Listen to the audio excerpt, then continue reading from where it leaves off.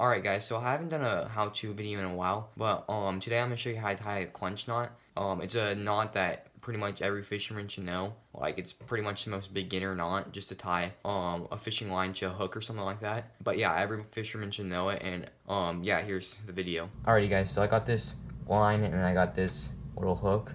But basically the first thing you're gonna wanna do is just thread your line through your hook. So basically it should it should look like that. Just really simple. It depends on what test you're using, but I'm using 10 pound test right now. So I'm gonna do about six wraps. If you have bigger line, you wanna do less wrap, wraps. If you have smaller line, you wanna do more wraps, um, but not too much more or too much less. I'm gonna do about six or seven. Doesn't It's not a huge big of a deal how much you do.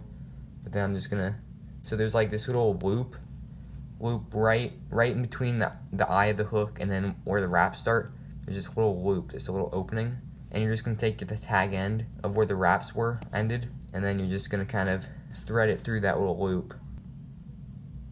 But now you should have something like this. So you should have like another loop big loop with like the little alright but so now it should look like this. You should have another little bigger loop formed with all the little wraps around the outside edge. This tag end should be going through that other small loop in between the eye of the hook and the where the loops start, I mean the twists start. Um, but so that should be, so it should look like this.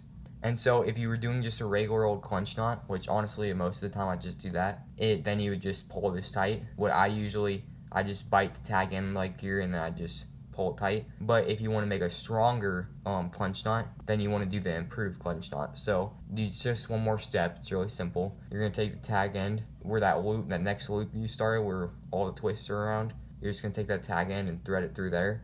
So get that through there.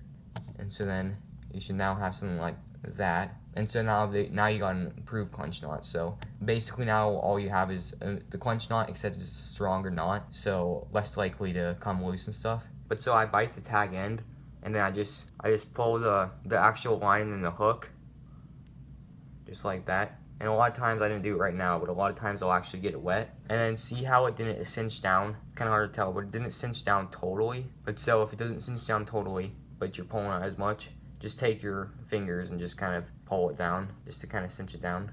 But yeah, super basic, easy knot. Every fisherman should know this. It's like most um, used knot. But yeah, so this was just a quick little tutorial on how to um, tie a clinch knot. But yeah, so thanks for watching. Don't forget to like and subscribe. Um, if you want to go check out more videos, I do a lot of trout fishing, um, carp fishing, stuff like that. Lots of fishing and even hunting videos. But yeah, don't forget to like and subscribe, and thanks for watching.